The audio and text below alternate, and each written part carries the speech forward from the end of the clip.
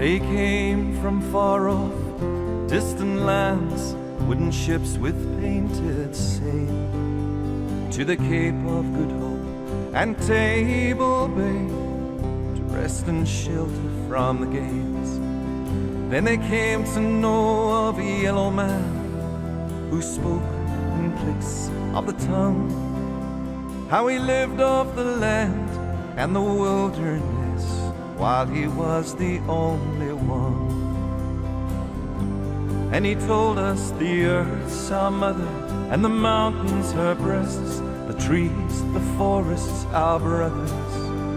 We're all of her children and the mouth that she feeds.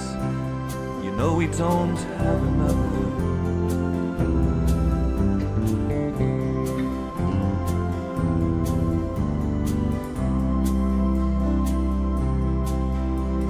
Well, the news got out, and like wildfire spread of a faraway land of plenty, and more people came to stake their claim in the year of our Lord 1820. Then the hunters came along, their guns sang their song to the antelope that roamed the land, and the little yellow man we've come to know as the San the mountains to make a stand.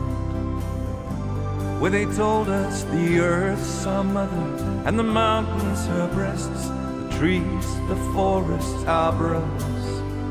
We're all of her children and the life that we lead. You know we can't change for another.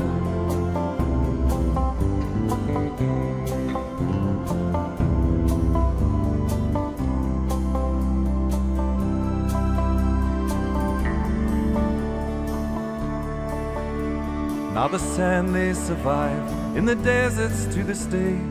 Those from the mountains have all gone, but they've left for us a legacy through all the paintings they've done. And the pictures tell a story of their final hours and glory, how their lost race was run. And all they wanted to be was free, to live in harmony in caves in the Drakensberg valleys, where they told us the earth's our mother, the mountains her breasts, the trees, the forests our brothers. We're all of the children and the mouth that she feeds. You know we don't have another.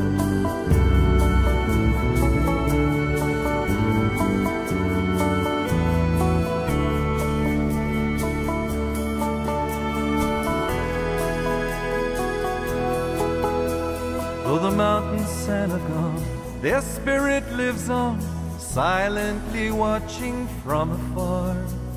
At an ever-changing world, one of greed and so cold, from the harm we've done. And the pictures tell a story of our final hours and glory, how our lost race is being run. If the spirit could make a plea, I know it would save the lost wilderness, you and me.